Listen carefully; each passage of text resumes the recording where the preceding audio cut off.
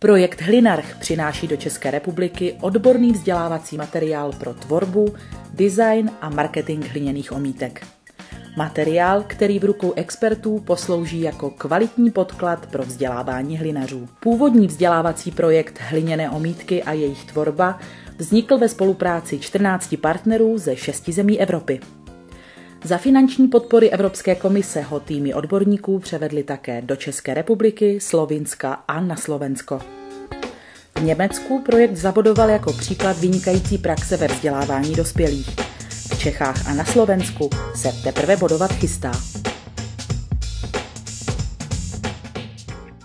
Aby materiály opravdu seděly na míru, uspořádal tým autorů ve všech třech zemích testovací workshopy. Na nich si různí odborníci zkoušeli, jestli se podle hlinarch podkladů opravdu naučí skrotit hlínu v omítky. A abyste z toho taky něco měli, vraťte se alespoň virtuálně do září roku 2009 a navštivte workshop vedený německou lektorkou Irmelou Frone. 11 účastníků s různými hlinařskými zkušenostmi zasvětilo víkend hliněným omítkám. A proč za to hlína vlastně stojí? Tak eh, pre toho zákazníka je to možno eh, ten výber hliny je eh, dobrý v tom, že je to materiál, ktorý je zdravý a ktorý je teda prírodný a človek sa samozrejme medzi prírodnými materiálmi cíti lepšie ako medzi umelými. Já si myslím hlavně, že to láká k dotyku. A to je hrozně příjemný pocit, že dotyk to jako má plno lidí rádo. A jsou tam barvy, které nejsou nudné, jsou příjemné a navíc teda, jak eh, všichni víme, tak eh, je to vhodný pro to vnitřní prostředí.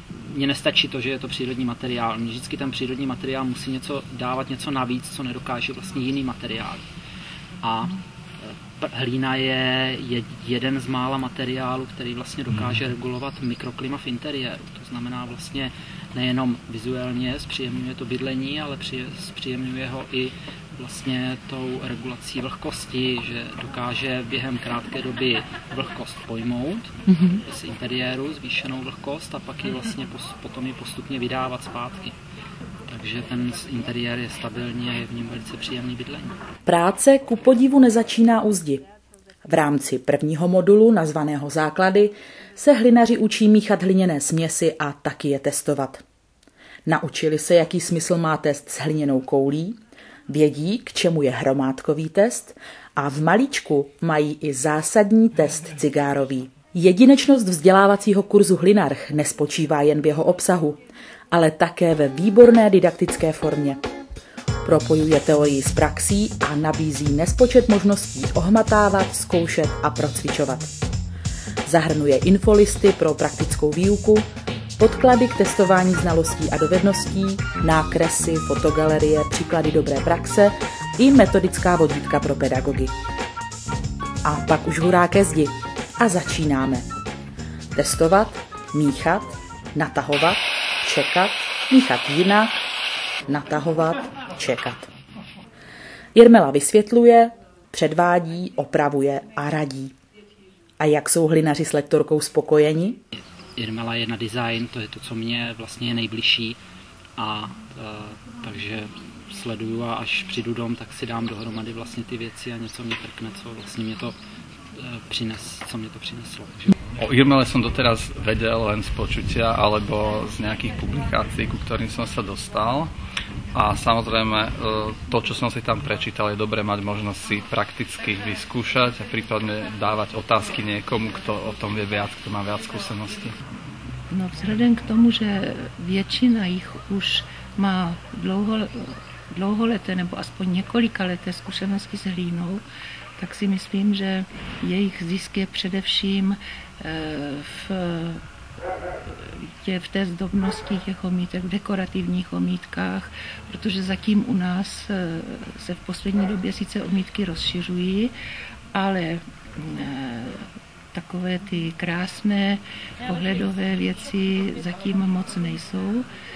A tady právě my se je učíme dokonce nejenom jako, že někdo něco náhodně umí, ale učíme se to systematicky. Právě takové to hraní, co teď provádíme, tak to je to, co mi to může dát, že do posud jsem se prokousaval v hlíně právě těmi základními technikami, prostě hrubé umítky, natahování umítky na sami balíky, prostě taková ta hrubá práce, anebo potom fajnové umítky, ale přece jenom tady ten dekor, tady ty grafiky nějaké, to je přece posunutí té hlíny ještě dál. Většina přítomných se těší hlavně na modul 2, design. Mají možnost načerpat inspiraci pro design omítek za využití z grafita, šablon i plastických dekorací omítek. A aby šlo umění od ruky, poslouží cvičné heraklitové desky. Každý má prostor zanechat v omítce otisk vlastní tvořivosti. Motivy zabývat se hlínou jako stavebním materiálem jsou různé. Někdo si chce postavit vlastní dům z přírodních materiálů. Jiný jich chce zase stavět víc pro ostatní. A nebo ještě nad rámec samotných realizací šířit informace a vzdělávat. Přece jen máme oproti jiným zemím ve využití přírodních materiálů co dohánět. Ale na pesimismus času dost.